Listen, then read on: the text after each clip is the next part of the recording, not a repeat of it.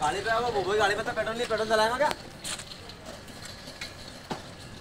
Petrol चलाएगा बोल रहा हूँ साथ में। वो पेट्रोल का बोल रहा हूँ गाड़ी पेट्रोल चलाऊँगा बोले, भैया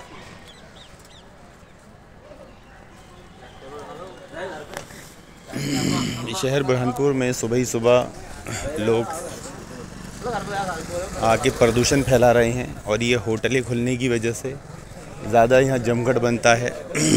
तो प्रशासन से रिक्वेस्ट की जाती है कि इन होटलों को ही सुबह खुलने से बंद किया जाए ताकि यहाँ आके प्रदूषण ना फैलाया जाए।